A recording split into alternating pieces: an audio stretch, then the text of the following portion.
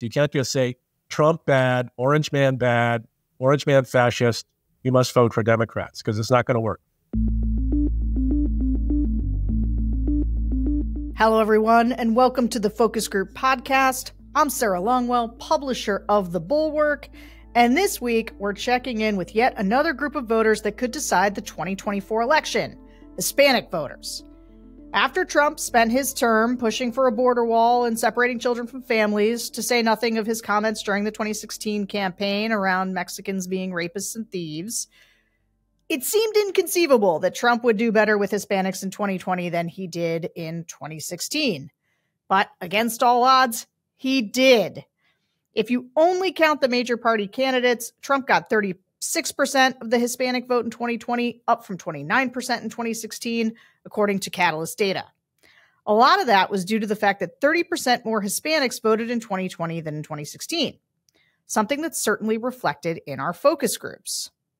Behind all of these shifts are real voters, and today you're going to hear from some of them. You're also going to hear from some Biden voters who are considering abandoning the Democrats in 2024. My guest today is my friend, Ruy Teixeira, senior fellow at the American Enterprise Institute, co founder and politics editor of The Liberal Patriot, and co author with John Judis of the forthcoming book, Where Have All the Democrats Gone? The Soul of the Party in the Age of Extremes. Ruy, thanks for being here. Hey, thanks for having me, Sarah. Okay, so your book's coming out November 7th. It's about the Democratic Party's decline in support among working class voters. Uh, we're going to drop the link to pre order a copy in our show notes for everyone that's interested in grabbing their own copy. Uh, but you lay out a blueprint for the Democrats to be more of a working class friendly party than they are now. So, what lessons does history leave for Democrats right here in this moment? Well, right at this moment, I think uh, you know, since our uh, our subject of today's uh, discussion is Hispanics, I think that looking at uh, the trends among Hispanic voters and the um, opinions, the views, the inclinations of Hispanic voters provides an important lesson. As you pointed out, the Democrats lost, you know, roughly 16 margin points among uh, Hispanics between 2016 and 2020, despite all the stuff you mentioned about Trump. That's telling you a lot. And it was bigger, substantially bigger among working class Hispanics than it was among college educated Hispanics. And of course, Hispanics are overwhelmingly working class uh, constituency. And if you look at how they're trending now in recent uh, polling, I mean, we, we see those margins actually, you know, again, we don't know what's going to happen in the election, but judging from the polling, those margins for the Democrats are, are coming down even further. Uh, we've seen polls where the Democrats are only up like 5, 10, 15 points among, among Hispanics. And we also see that most Hispanics don't think the Biden administration has accomplished uh, little or nothing during its time in office. We see that they give Biden an absolutely terrible rating on inflation, on immigration, on the economy, you name it. These are not happy campers, and they don't see the Democratic Party and the administration of Joe Biden as necessarily having done stuff that's in their interests. And then, you know, there's a wide panoply of cultural issues that we talk about a lot in the book that that are really not congenial to a lot of Hispanic voters, especially working class voters. They're not, you know, they actually don't believe America is a structurally racist, white supremacist society. They reject that proposition. They are not enthusiastic about uh, some of the activity of the Democrats around transgender issues. They don't think that uh, biological boys should participate in girls' teams. Uh, they're actually not that interested in the green transition. They're for uh, wind and solar energy, as everybody else is, but they actually think that there should be uh, a mix going forward of fossil fuels, renewables, nuclear, and so on. So that's just a tip of the iceberg, really, of how a lot of the views of working class Hispanic voters really do depart in important ways from what's at least perceived as the center of gravity of the Democratic Party and some of the things the Biden administration has done and said. So, long story short, if the Democrats are thinking they can surge back among Hispanics based on Biden having been president for four years, it's a little hard to see that in the data. And in fact, uh, it appears there's a considerable potential for further erosion because Democrats' image um, is just not anymore of being, as it were, the tribune of the working class of all races and ethnicities. It's it's become quite different. It's become much more identified with the views of white, college educated, liberalish people in the coastal enclaves. Um, and it adopts a sort of style of uh, rhetoric and pre- presentation that is that is foreign to a lot of these voters, and they're just not sure. You know, to put it bluntly, Democrats have their back, and I think we saw a lot of that in those focus groups, Sarah, that we're gonna we're gonna uh, hear from today. The focus groups were extremely fascinating. Um, I'm excited to to listen to this because I, I learned a lot from them, and I, I think maybe just to say it's an overall observation. I was just really struck by how much these Hispanic voters yeah. sounded like your average, like two time Trump voters. Like just, uh, I mean, it, if if I hadn't known that we were screening for an all Hispanic group, um, I I don't know that I would. They were pretty indistinguishable. Um, but I, you know, one of the key points in your book is that after Barack Obama won re-election in 2012, there was this kind of conventional wisdom that demographics had shifted in the country to such a degree that Democrats were headed for sort of a durable majority, uh, a durable majority. But that hasn't happened in spite of, you know, like everything about Donald Trump. The Republican Party share of Hispanics uh, has just continued to grow on his watch. And so when we talk to these Hispanic voters who didn't vote for 20, didn't vote for Trump in 2016, but did in 2020. And on mm-hmm. this podcast, we often call them reverse flippers. Um, and ah. some of them like didn't even vote in 2016. Some, you know, went third party. Some right. voted for Hillary. Uh, but they talked about how they went, how they warmed up to Trump, like how they, how they, how they learned to love Trump, uh, and and the and the Republican Party in general. Let's listen. I couldn't vote in 2016. I would have voted Trump. Actually, everybody that I told didn't believe me. Like, oh, he's not going to win. And I said, he's going to win because you're underestimating actually the values that the real America has.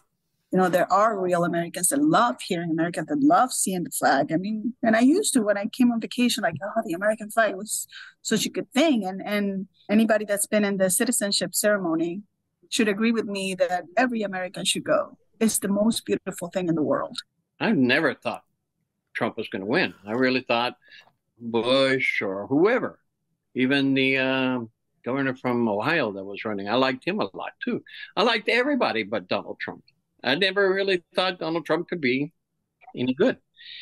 And so I didn't vote for him, and I definitely wasn't voting Democrat. And so I just voted for that guy because I wanted to vote. I've been voting since, you know, I was able to. And now I voted for him in 2020 because he kicked ass, and I thought he was the best president and uh, did great for this country. If I would have had the ability to vote, I might have voted for Hillary. I liked her. Thank God I didn't have the ability to vote at that moment. Um, so then in 2020, I did vote for Trump for several reasons. Not that I like the guy, I don't. I mean, I'm going to be straight up front. I don't. But I dislike even more the Democrat philosophy. So thanks, but no thanks.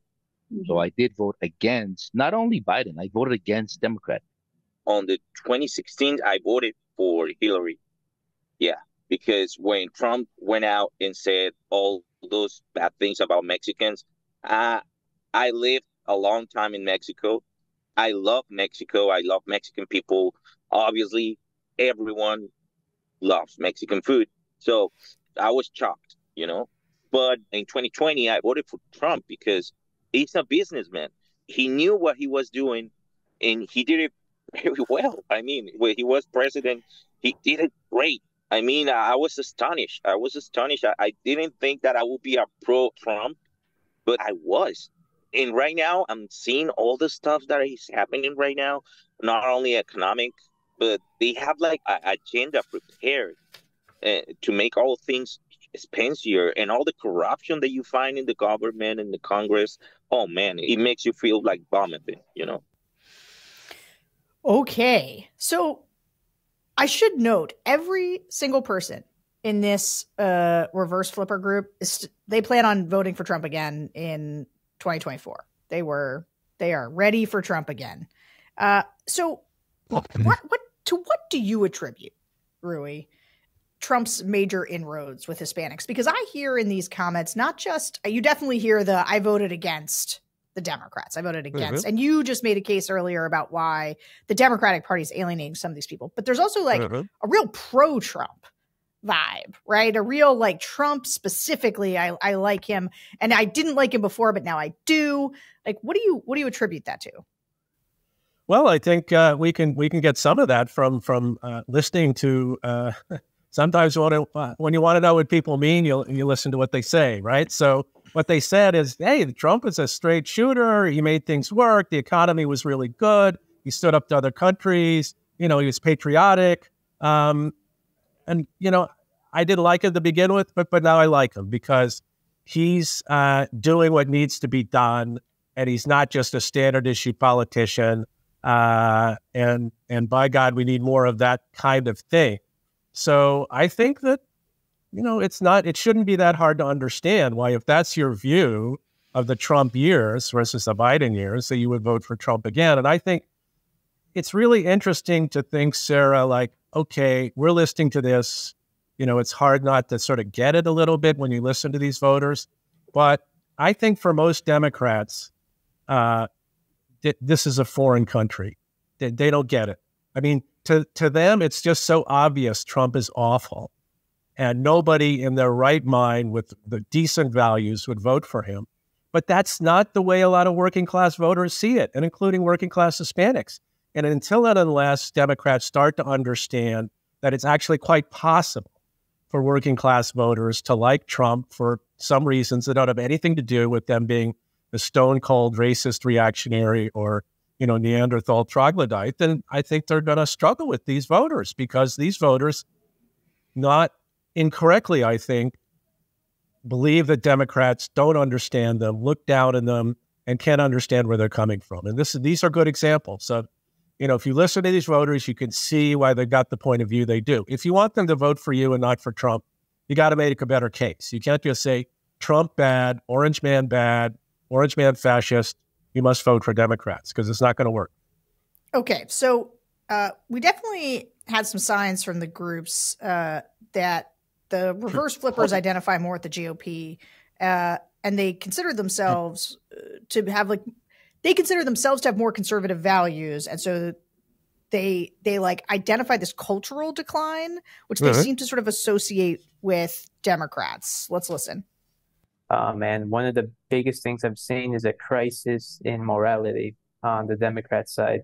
Republicans are not perfect. You know, they got their errors where they fall short, but the Democrat side, um, like some of you were saying, the whole deal with transgenderism, with tolerance but they won't tolerate you. It's not on their side. Things like that. This is a crisis of morality. California, I work in the mortgage industry, so I do loans throughout the US and I just see, you know, a difference in where people are buying homes. And there's a good reason for it. That's why I moved to Texas. I was in Florida before, and those are really, really the only two states I've been seeing that are still, you know, holding on to a lot of their Republican values. Whereas Washington, Oregon, California are just in crisis mode right now people don't care about giving customer service. People just, it's not about just minding their own business. It's about not being friendly, not giving, you know, any thought about anything, about anything. You know, I'm just going to work, clock in, clock out, bye bye, and that's it. But I mean, the social morals are bad. You see every city. I mean, I live in Fort Worth, and Fort Worth is beautiful. But you go to Dallas, which is a Democrat city, and it's terrible. It's ugly, it's dirty, it's smelly, it's like going to New York. So you see it. I mean, they have politics that actually don't work for the people. So, Roy, a big complaint in your book is that Democrats have taken this mix of sort of moderate economics and elite liberal cultural norms, like that's what they've kind of put together. But you would prefer more cultural mo- moderation and liberal economics for the sake of winning elections. Uh, but there are uh-huh. also a lot of voters, Democrats can't afford to lose in 2024, who do want the more fiscally conservative, socially liberal mix. And sort of how do you balance that within the coalition? Well, that's a good question. I actually think the, the numbers of people these days who are fiscally conservative and socially liberal is not that large. Um, there's actually much more higher correlation now between social social liberalism and economic liberalism. Um, that most of, for example, the white college educated liberals who are now the, you know, increasingly a base of the Democratic Party, a burgeoning group who in many ways sets the tone for the party. These are people who are pretty liberal in economics too. It's just they're super liberal on social issues. And, you know, as a number of studies have established, a lot of these voters uh, are in some ways give, give priority or salience to the, their social liberalism, and they're willing to punish Democrats by voting for other more liberal Democrats in primaries and so on who don't adhere to these things, and they're certainly willing to go after them on social media and what have you. So my view is that, yeah, I mean, if the Democrats moved to the center on cultural issues, discarded some of these outre, super liberal social approaches, uh, and more sounded like normie like they had a normie voter approach to this. They might annoy a lot of these, you know, college educated liberals, but I actually don't believe that these college educated liberals are going to go vote for Donald Trump. Um, there may be some attrition in terms of not voting or voting for a third party candidate, but I think it would, my view at least, it'd be more than made up by doing much better among working class voters, because that is where the bulk of the voters are. That's where the Democrats have been losing voters. That's how Trump is going to win if he does win. Um, it just seems to me the, the the road is clear to taking a different approach to uh, you know the balance of issues in the Democratic Party and how those issues are presented. I mean, cultural moderation is extremely popular. Most white college graduates are are moderates, right? I mean, there, there's a con- contingent that's liberal, and they vote like at Soviet levels for the Democrats, but that's not where the action is, and that's not where the voters are likely to move on. And it's certainly true among non white voters, right? Non white voters, especially working class voters, are overwhelmingly moderate to conservative. And I think they would welcome uh, the Democratic Party moving away from some of its positions on crime and immigration, on race and gender, uh, on schools and what have you. That they just want, they just want normal, you know, conduct in America. They want ideology out of the schools. They want crime stopped. They want the border control. They want things to be in, in order. I mean, in a way, mean, look back at how Biden ran in, in, in 2000, I mean, 2020. It was like, I'm going to restore normality to America. I'm going to get the economy moving, and we're going to be normal. You know, everything's going to get back to normal. The problem for the Democrats, to a non-trivial extent at this point, is that people look at the country, you know, under the Democratic administration, and it doesn't seem normal. There was too much inflation. There's too much crime. There's too much disorder in the cities. The border is clearly out of control. The, the culture wars around race and gender are raging, and nobody seems to want to compromise, including the Democrats. And people are sick of it. You know, they're just sick of it. And I think this is this redounds to the benefit uh, not of the Democrats, but of the other side, who can run against the incumbent administration uh, in a way that uh, puts them in a great deal of danger, despite you know the fact that a lot of people really hate Trump. But in fact, if the Republicans ran like Nikki Haley, uh, she might uh, clean up. But if they're going to run Trump, um, you know, he's maybe not their best candidate, but boy, he can take advantage of a lot of this discontent. These voters sort of seem to have the same type of like right wing grievance that's not always steeped entirely in reality. Like the did the culture wars that you just referenced, mm-hmm. like Ron DeSantis is driving a lot of the culture wars. Like Republicans are stoking the culture wars in such a way that uh, makes the train like Joe Biden has never said that he thinks biological males should play women's sports. Uh, and he has never said defund the police. And uh, he has been good on sort of Israel. And so, like, I guess I wonder how much of this is like a real failure of Democrats and how much is it that like rep- conservative talk radio and sort of conservative cultural values um, has become like it was clear to me listening to this group that they ingest a lot of right wing media. Like the same way I hear they gave Biden no credit. They said the economy is absolutely awful. Uh, and obviously, I hear this from all manner of voters that you know inflation is tough but like i'm not sure that if joe biden is sort of culturally moderate and doesn't seem to be winning over these voters and so i guess i'm wondering how much of it is truly an alienation from ma- the mainstream democrats and how much it is that like these are actually like right wing voters who have moved into a right wing media ecosystem and are just like, that's just the world they're living in now?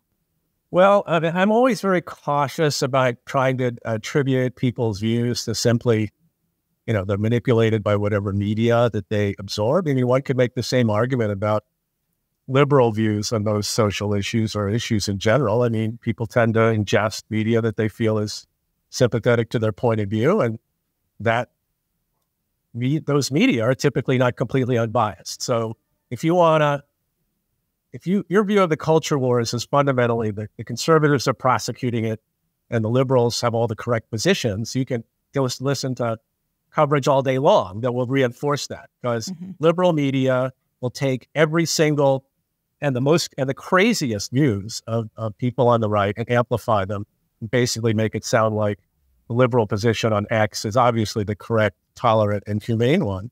But that might, might not be true either. I mean, to my mind, Sarah, I mean, one has to be careful about falling into what we call the Fox News fallacy, where Fox News is raising an issue about what's going on in the schools or what's going on with crime in the cities or what's going on with immigration at the border. Um, that is, it, this is a meretricious, deceptive meme that's being injected into the body politic by the conservative media, and it just has no real purchase on reality. This is people aren't really upset about stuff that's going on in the real world. They're they're being made to be upset by the conservative media. And we reject that proposition. I think there's a real problems that are going on that real people see and real people are worried about. I mean, just take the issue of transgenderism, which of course is a real hot button issue. Um, the problem isn't that Biden comes out and says, I think that, you know, biological boys are the same as girls. You know, biological boys who say they're girls are the same as girls. It's just that the, the slant and practice of his administration of the Democrats who make up his party are like pretty much 100% on board with the so-called gender affirming care approach, right? I mean, this is just true down the line. You'll go to his, his assistant surgeon general who said that gender, you know, the whole gender ideology, gender medicine thing is all settled science. Nobody should object to this. Uh, Democrats in states all over the country have basically, in it, even in this, really literally laid down the law on this. Um, and, you know, who, who is associated with the view that essentially, you know, gender is self declared, right? Uh, and that anybody who says they're, you know, they're a boy who say they're a girl, well, they're the same as a girl, and or a man who says they're a woman, they're exactly the same. They're treated the same. There should be no uh, biologically sex segregated spaces. Uh, gender affirming medical care should be available pretty much almost on demand to children. I mean, people are really concerned about these issues, and we can argue about what the correct, moderate approach might be to these issues. But it's not just being made up by Fox News. People are upset about this, and Democrats are inevitably and rightly associated with one wing of, of that debate. It doesn't matter that Biden doesn't spend, you know, like he doesn't give an address every week about how he believes in gender affirming care. His party is inevitably associated with. The same thing is true of issues around crime, around bail reform, around you know the sort of harm reduction approach in cities, which results in people openly taking drugs in the middle of uh, city streets. You have mentally ill people on the street. Uh, it doesn't matter that Biden says he's for controlling the border when New York is getting 600 additional migrants a day and they're freaking out because they can't take care of these people. I mean, we saw that in some of those Hispanic focus groups, people who live in and around New York complaining yeah, yeah, about, no, about the actually, migrant situation being out of control. So yeah. I just think, Sarah, we have to be very careful I'm about get to your Fox ascribing these fallacy. views to simply being manipulated by the conservative media. So okay, so I'm going to get to the Fox News fallacy specifically. And we can pick this part back up. Uh, Okay. And now I'm going to, but to get back to the like to your point broadly, which I I think I agree with broadly. Although I think sometimes I think sometimes I would disagree with like the level of emphasis. Fair Um, enough. But let's talk about the term Latinx uh, because this is one that's like a personal annoying one for me. Uh, and that's a, a term that's definitely a symptom of the elite cultural norms that you, you're discussing here, uh, and one in which the voters in our groups were kind of perplexed by. Uh, so let's listen to how they thought about Latinx and how they think too much tokenization is creeping in around these identity politics. I don't know what it means. Me either. Same. I saw that on a thing that I was filling out. I was like, what is in Latinx? I mean, the Democrat Party, all that has is divide and conquer. divide and conquer by whoever women, with men, with trans, with gays, with uh, black, with Latinos. I mean, they tried to apply it to Latinos with the Latinx stuff. And we were like, you're not Latinx, we're Latinos. I mean, don't put me any other name or any other box because it's not going to work with us. Why don't you say Hispanic? It doesn't have an O or an A. Yeah, it's stupid. stupid. Uh, no, for no us, stupid, stupido. It's stupid. I just feel that they're targeting, just like they targeted blacks, you know, because even in schools, I mean, you, you kind of have to know Spanish now for the younger people because there's a lot of Hispanics in the United States now. We're almost approaching, I'd say 40, 60% population. I just feel that they're targeting and they use Hispanics as a ploy in the Democratic Party. When we were doing this group, uh, we asked them how they felt about being a sort of sought after demographic in politics. Uh, and we we actually heard concerns about too much homogenization. One Democratic voter said they were from South America, others were from Mexico, but they said they see us all as brown, uh, meaning that a, a, wide range of cultures from different countries are lumped together into being Hispanic. Uh, and the progressive theory of the case does seem to be that you can win these voters over basically by playing to identity politics. Um, so, how can groups that want to win these when these kinds of voters back speak broadly to to Hispanics without falling into this trap, or can they not? Well, what would be wrong with uh, taking a universalistic, colorblind approach to social policy? What would be wrong with what the Democratic Party has traditionally stood for, which is anti discrimination, tolerance, and uplift for working and middle class people of all races? What would be wrong with that? Why is there a necessity to promote and in any way endorse identity politics. This makes no sense to me. We can see from the way Hispanics react to this that this is this is not how they think of themselves. I mean, Uh, I've written in various places. I think the Democrats made a huge mistake lumping in Hispanics with so-called people of color, and assuming that, like all people of color, they feel oppressed by being non-whites in a white supremacist society, and they're victims of structural racism. And really, that's what they care about. They care about the fact that they're oppressed as non-whites. That's not what they care about. Hispanics are a hardworking, upwardly mobile, patriotic constituency who cares mostly about their kids, their community, having a decent job, getting health care. I mean, this is what they care about. They're, they're not sitting around like, they don't get up in the morning and think, oh my God, I live in this dystopian hellhole called the United States where I'm the victim of structural racism. That's not remotely close to how they think about the world. And I think, you know, it's time to go back to the future. Democrats have had their greatest success when they were viewed as and were the party of the people, of the common man and woman in America, without, you know, seeing fracturing people into identity groups. Now that has been, you know, at times it's been hard to do this, right? There's been many times, ball has been dropped in many ways. America has both a good and a bad aspects to its history, but that is no excuse for giving up on universalistic norms of uplift, of anti-discrimination, of we're all we're all Americans you know, the, the Albert Murray and Ralph Ellison, you know, promulgated this term a long time ago called omni Americans. We're all Americans. We're, we're a mix of all kinds of different cultural and other influences, and that's great. But we're all part of one country, and we all have the, you know, we're all in this together, as it were. Um, and we should basically emphasize what we have in common, not what we don't. Um, so I think that, again, historically, that was a Democratic Party brand and the brand that's associated with the greatest success. And I think it's been a tragedy that Democrats have discarded this potent weapon and this potential unifying force.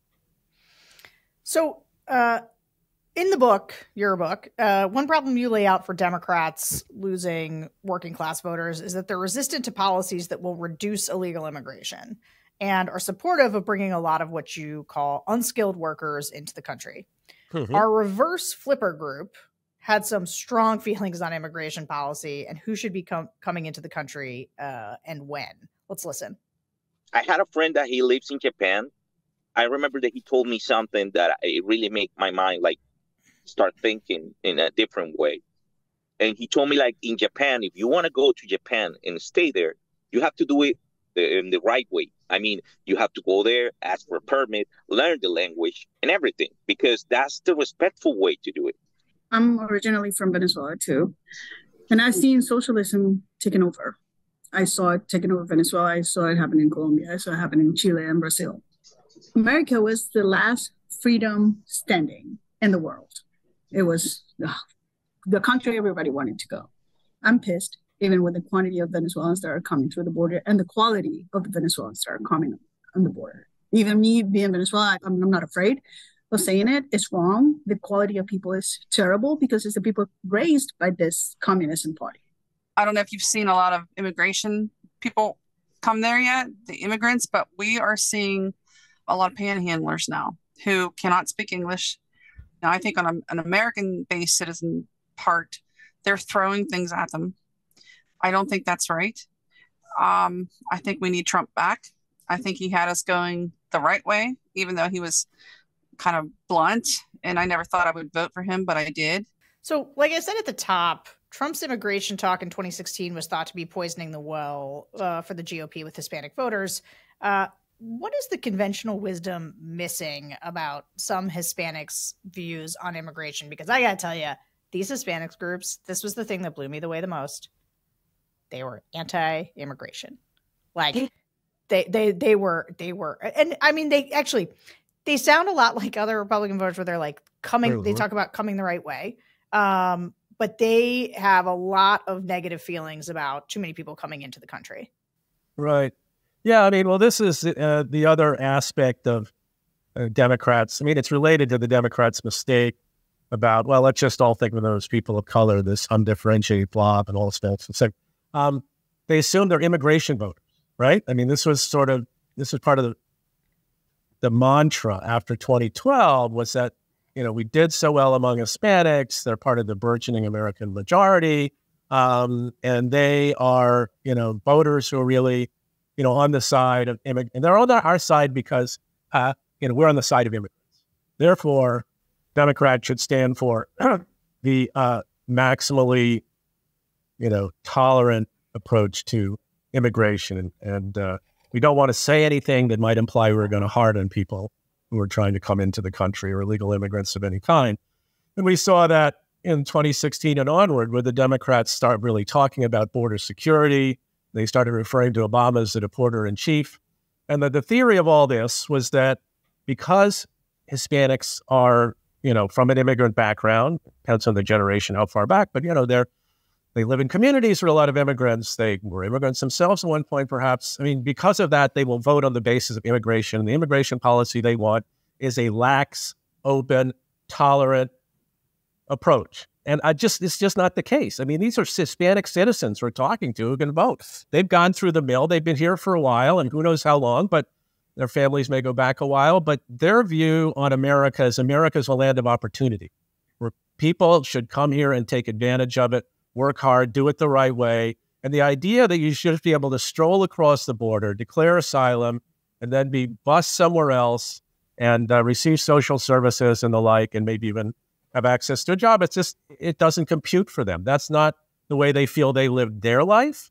That's not the way what they feel America's about.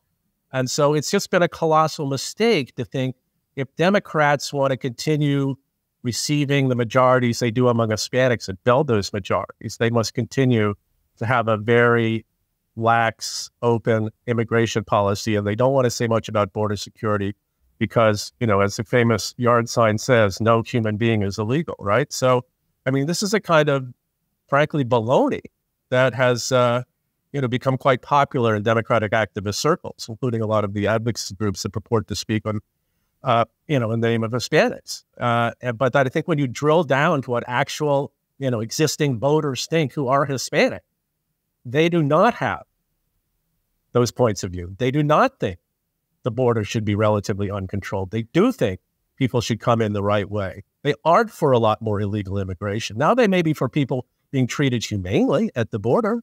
Uh, you know, when they're encountered, that that's fine. They may believe that there's a need for something to be done for the immigrant, illegal immigrants already in the country. There needs to be, say, some sort of path to citizenship or some sort of reform that would move us in that direction. That could all be true, but that doesn't mean they don't want border security and a crackdown on people who are basically gaming the system and coming into the country and doing it the wrong way. Like this yeah. is just a, the standard point of view that a lot of these voters have, and I think Democrats ignore to their peril. Yeah, so it's so standard that actually I want to give you a quick taste of another group we talked to for this show. So these are Hispanic voters who voted for Hillary Clinton and Joe Biden, but who mm-hmm. are undecided about 2024. And they brought up immigration policy a lot as one of the reasons why they were undecided. Let's listen. To me, this is mainly the result of like COVID and all the inequalities that it brought up to the surface that were already there, but now they're just more prevalent. I don't think this is Biden. Yeah, I don't think he's handled it correctly, but this would have happened with any other president. This is years in the making. The fact that they haven't had some type of immigration reform in like decades is just ridiculous. But at the same time, open borders just doesn't work anymore. I mean, I am an immigrant myself, and so is my entire family. So for me to say this, it actually pains me, but they need to draw the line at some point. This cannot continue to happen. I think Mexico is just taking advantage of this policy that they're just sending mm-hmm. derelicts over. And, you know, in the 80s, when, like, like I said, I immigrated my cousin and I had to put up $5,000. Back then, it was a lot of money. But his stipulations was that he was going to be a businessman, he was going to be an asset to us. The only reason I would ever entertain the idea of voting for Trump is because during the Trump administration, for border crossing, there was maybe around like 30 people coming a month. Now the number is well within the thousands coming a month. And that's not fair for those who are trying to immigrate to this country, following the laws of applying. It is just wild to me to hear so many people talk about like well we needed the border wall and mexicans are you know not sending their best. And uh i i understand i understand sort of saying you know boy as somebody who went through the immigration process myself like it's pretty messed up and let's talk about it. But they are what they're specifically saying is they do not like uh the democrats policy of like letting more people in uh, or like what they perceive to be open borders, which Joe Biden does not have an open borders policy. Um, I, I mean, to me, again, I, I'm, I promise this like next, we're going to get into some of the, um, the, the Fox News stuff, but like, I don't know. They do just sound like right wing they I, they sounded I was blown away by these statements and and and who they were coming from. Like for somebody being like, "I'm Venezuelan, don't let any more Venezuelans in." Like, what do you make of this? Well, I think one way to think about it is to cast our mind back to our minds back to uh, debates about immigration policy in the past, in like the 70s, 80s, 90s. I mean, most people today don't realize it. Um, don't remember or would never have experienced it, but the traditional Democratic Party position on immigration was actually pretty tough. That immigration was perceived, if it's uncontrolled, as putting downward pressure on wages, as putting pressure on social services, and it was not at all in the interests of the working class to allow, you know, very lax, have lax immigration policy. That if people come into the country illegally and they're working, there should be an e-verify system. The Jordan Commission was all over this, right? I mean, it's not that long ago that the Democrats' policy started departing from, you know, the idea borders have to be strictly controlled. We have to really contain illegal immigration. There's illegal immigration. We should try to do something about it in terms of the people in the country who have jobs who are here illegally. I mean, there was a whole, you know, effort to to regularize the immigration system, to bring it under control, but it kind of basically got blown up in the in, in the in the 2000s. Um, and the Democratic Party itself changed its position where it was no longer so concerned with stopping illegal immigration. It was concerned with, um, you know, sort of what do we do with the people already here? We need a big reform on that. Uh, this was not the labor position and not the Democratic position until relatively recently. And look, we don't just go back to the Obama administration they had a much tougher position on immigration than Democrats do today. There's just no question that the Biden policies and approach to the immigration immigration policy once they took over clearly was more laxer than the Trump approach. It clearly sent a signal uh, to people who wanted to come here, and tons of people want to come here. That you know, the, basically the the administration tried to present it as we're going to be more humanitarian, we're going to be nicer. But the way that was, the signal was read across Latin America, and Central America, and a lot of other places was if you come, it will be easier to get in. and that turned out to be true. So, um, you know, this is uh, this is not to the liking of most Americans at this point, including a lot of Hispanics, including especially working class Hispanics who don't see it in their interest to have what seems to be a quasi, at least, open open border. Um, and I think Democrats just need to accept that that people really do want border security. There is almost no, there's a very small constituency in this country for quasi open borders, or basically the policy they currently have. Mean, that's why Biden has a 23% rating on handling border security. The, the real constituency for let them all come is basically white college educated liberal Democrats. That's a constituency. It isn't Hispanics at this point. It's the people who are most liberal in the Democratic Party who have essentially adopted a dogma that you know borders should essentially be be as open as possible and we should make it as easy as possible to immigrate here and if they're here we have to take care of them and so on whereas of course no country in the world you know has uncontrolled borders. No country in the world thinks it's okay for people to come you know if they want and just hang out and then get services and so on. So i mean again back to being you know back to being a spokesman for the ordinary american for the normie american. Uh, what the Democrats are doing in immigration isn't that. And we see that in, again, in these focus groups of people who, you know, some of whom are obviously very sympathetic to the Democrats who just who just don't buy it. And who are Hispanic, supposed to be the burgeoning constituency for the Democratic Party uh, moving forward. So um, I think Democrats, I made this argument and I'll make it time and again, and I'll make it time and again in the future. They need to really cut bait with a lot of the people who push a lot of these positions on these issues, like immigration, that are not popular, not substantively workable, and are a drag on their political prospects, uh, including what we're talking about here, about us with Hispanic voters. So easy yeah. to say, harder to do, I realize. Well, I mean, look, we could do a whole hour or day or lots and lots of time on immigration. I, I, I do feel strongly uh, as somebody who is, I am, I am pro immigration uh, for the United States of America. I think that immigration has been it's like the thing that we do here. Uh, it's how we've built this country. Uh, aside from early on when people were brought here against their will, um, but I like I am proud of the fact that we lots of people want to come here. I've always taken that as a positive. Mm-hmm. and I mm-hmm. think that we need a system that allows people to come here where it doesn't take you know 15 years to become an American citizen and we know who's in the country and we do have borders and it feels like this is one of those issues that both sides have just become committed to not solving and like kicking the can down the road and nobody wants to actually do the work but I know you and I have been in a lot of rooms together where I, I make this case as well that Democrats do not realize how vulnerable they are on immigration. Um, and they really, I think it's one of the things that people don't realize that this was what made Trump uh, that just accelerated him to the top.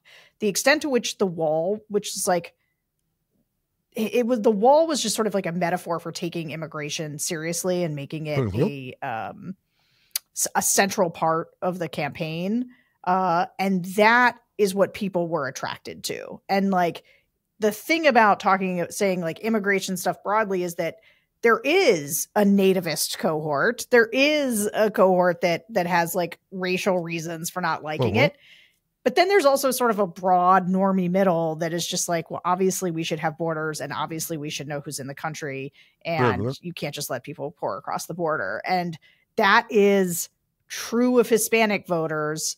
And I do think this is something Democrats are going to have to grapple with. I don't think they realize the electoral price that it is costing them uh, to seem derelict on the border. I agree. And I think to you, so I finally on this Fox News fallacy, we have this in the in the in our like script here to talk about it mm-hmm. specifically in relation to the Democrat, the Democratic Hispanics who these guys are not watching Fox News. Like I listened to the the reverse flippers who were voting for Trump. I think these guys are watching a lot of Fox News. I did not think uh, or listening to a fair amount of right wing media. I think a lot of like right wing talk radio is like going on in places like Miami and other places with like big, large Hispanic populations. Um, that said, like the Hispanic Dems aren't. That's not, I think, what they're immersed in, and they still had a lot of concerns about the border. I think you've kind of already articulated your Fox News fantasy, but or Fox Mhm. News fallacy, but um, I do agree that I listen to Dems often just reach for Fox News as an explanation for everything, and like only a few million people are watching Fox News. Like a lot of times, like it's not. You really can't blame everything on it, and it does. I think discount the lived experience of a lot of people uh, who are frustrated about things that like Democrats don't really want them to be frustrated about. Yeah, absolutely. I mean, uh, a- again, the most parsimonious explanation for why typically people might have, you know, view X is that, that this is how they interpret their own experience, the things they've heard, you know, what's going on in their community or the city that's near them or their state.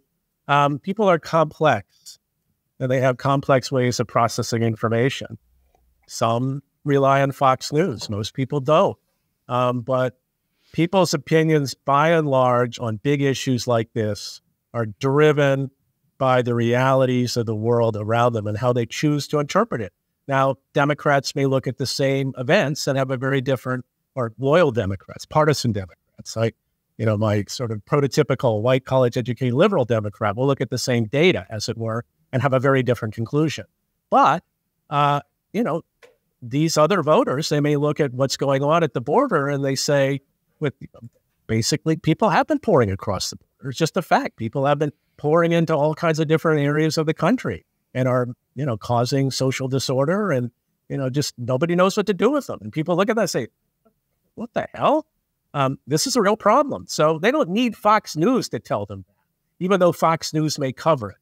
And, you know, one might add at this point that just like it's the case that, you know, Fox News may not cover some things that make Republicans look really bad, and but it will be covered on MSNBC. Uh, and therefore, you know, if you want information about X, uh, you might want to look at MSNBC. The same thing is true of Fox News. Fox News will cover things that, you know, a lot of the sort of center left media will not. Um, and therefore, you know, again, this is providing people with data. It's not all bias. it's not all bias all the way down. It's on either side.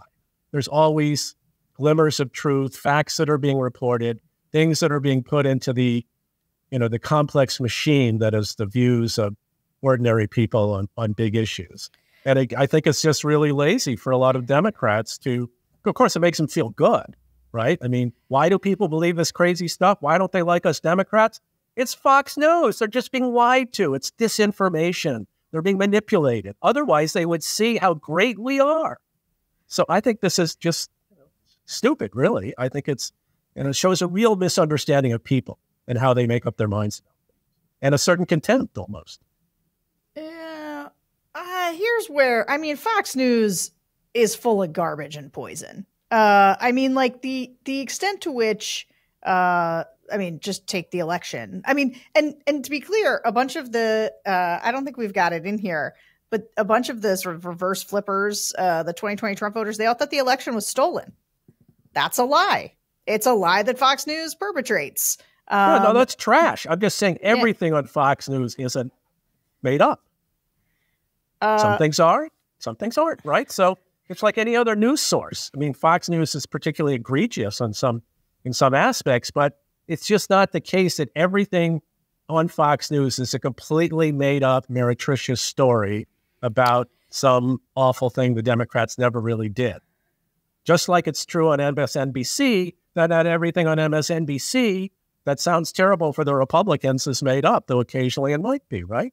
So, look, I'm not I'm not here to defend Fox News as a great news source that we should all listen to religiously and believe everything it said. All I'm saying is that, you know, Fox News, like a lot of conservative media, covers some things that the left media will not, and there's there's truth content in there at times that is digested by the people who who watch it and then is disseminated out. So, um, I just I really I just refuse to take the position that nothing on Fox News is true and everything that's true, everything that's on MSNBC is.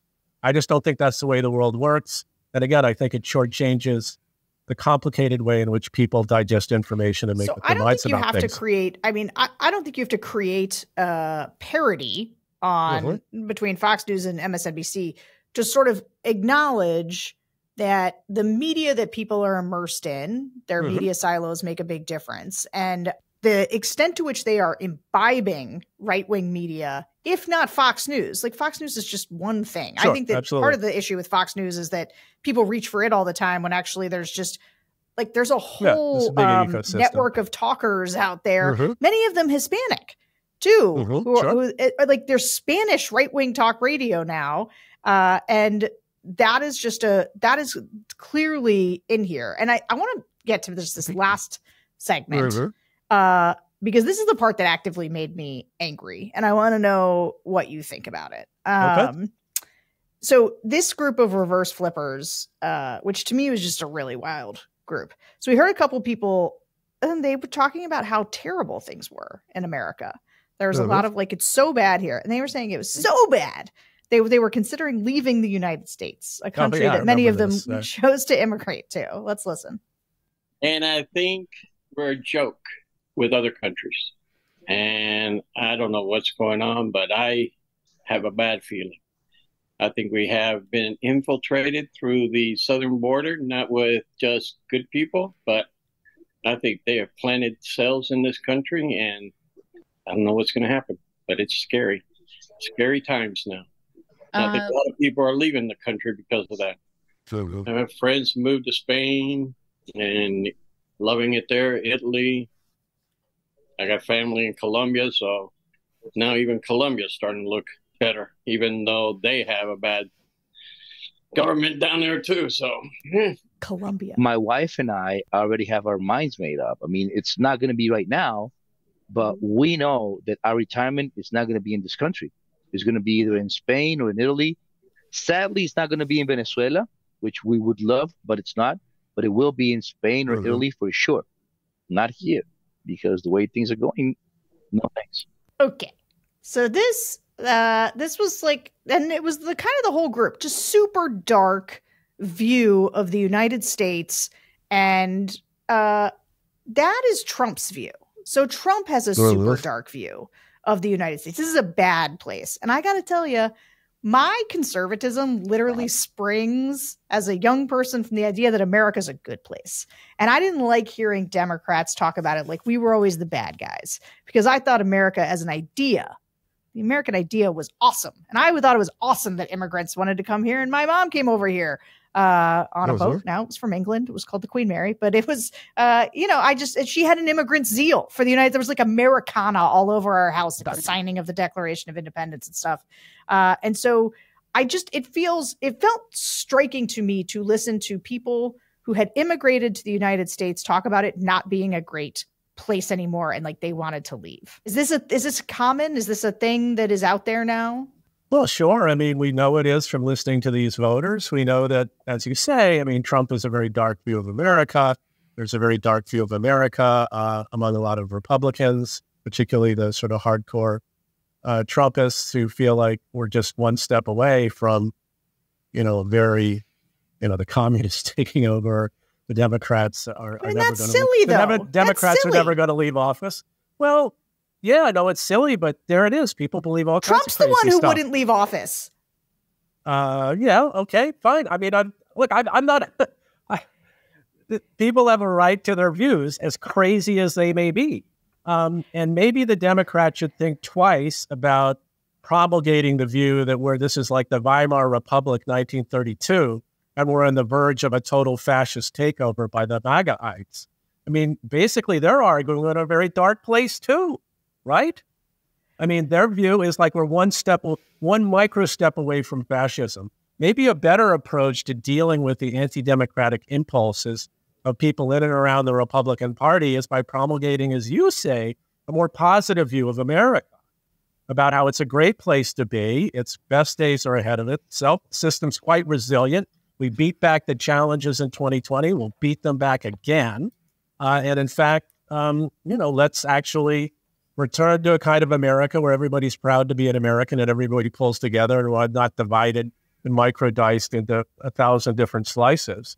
Uh, I think that's a more attractive view than saying, on the one hand, you know, the Trumpists are saying we're one step away from a, you know, democratic dystopia, and Democrats say we're one step away from a fascist dystopia run by Trump and his kids or something. So maybe, you know, maybe just maybe there's an opening here for taking a more optimistic, you know, view of America and its resilience and its potential, and not basically just getting down in the mud with the Trumpist Republicans and saying, "Yeah, yeah, you think we're, you know, you you think we're in this dark place. Well, you're right, we're in a dark place. It's just you're the ones causing the dark place. You're the ones that are taking us one step away from fascism. Look, I mean, Joe Biden went down to Georgia after the relatively anodyne voting reform law was passed, which didn't turn out that had zero effect on voting in Georgia. He went down there and said, "This is Jim Crow 2.0. This is like Bull Connor on the on the bridge in Alabama. I mean, this is this is just silly stuff. Maybe it's time for everybody to damp down the rhetoric, right? And sort of emphasize, you know, what we have in common and the resilience of the system and not basically be so concerned with calling out the other side as being the agents of of the, the coming dystopia. So end of rant, but I think that that I think would be closer to what most Americans want to hear than what I hear coming from either party. Yeah, I agree with that. I remember those comments from Joe Biden. I was really disappointed in them at the time. I will say that I would say on the whole, Joe Biden uh, does present more of an optimistic uh, view of America. I think he tries to. Um, and I think well, you tried- brought up the Biden thing before, Sarah, and I think that there's no question that Biden, you know, in his heart and probably his instincts, is a pretty, you know, ultra the moderate guy in some ways, and he is sort of an optimistic old school Democrat, but he can't separate himself from his party. That's the problem. Biden is not the party. It's more like the party is Biden, I think, at this point. And I think that unless Biden clearly, and I made this argument, clearly took some steps to signal a decisive break with the loonies in his own party and the cultural radicals and the people who do and say stupid things, it just is not going to make that much impression on the median vote that he's, you know, the Democratic Party is that much different. He is basically, you know, he's like, as I've said it in, in a few things, I mean, he's a designated normie of the Democratic Party. He's the guy who we yeah, can all point won. to and say he's like, but but he but he was he was elected. Like this is the thing. I just like the Republicans. I'm, I'm watching. I'm sitting outside watching. You know, almost 200 Republicans, 200 yesterday, vote mm-hmm. for Jim Jordan for Speaker of the House. Right. The uh, Donald Trump is up by like a gajillion points over everybody else, and the only other people in spitting distance are imit- carbon copy imitations of Donald Trump. Uh, mm-hmm. And you know, Joe Biden, normie. Old guy won the Democratic nomination, and you can say he's captured by the far left. But like, I don't know. I haven't seen him try to pack the courts. I haven't well, seen I him think try he's to captured uh, by the party as a whole, not by the far left. I just think the left has I just, a lot of this, sway over the party at this point that is I not good. Yeah, I mean, I share many of your critiques of sort of the far left. I just, I think.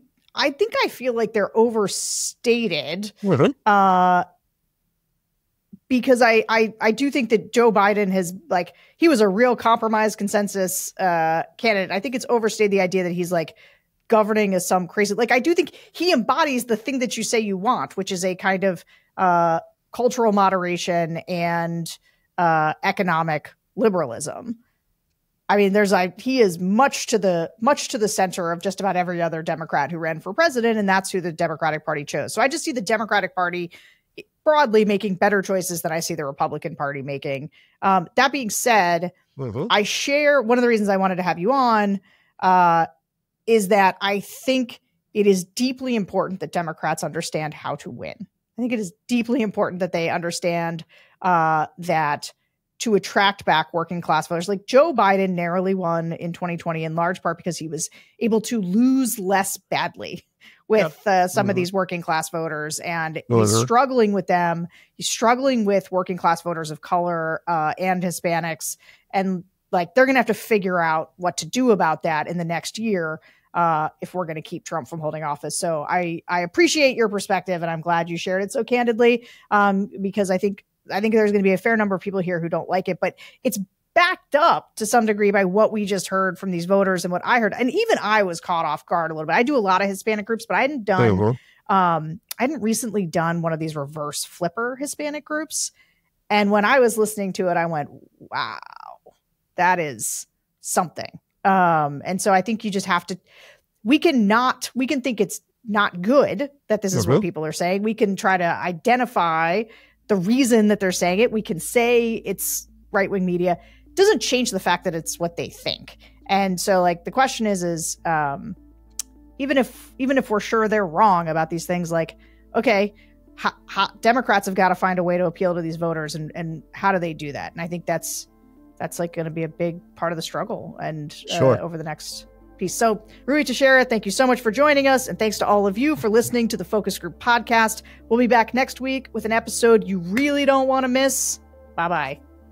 Thanks for having me.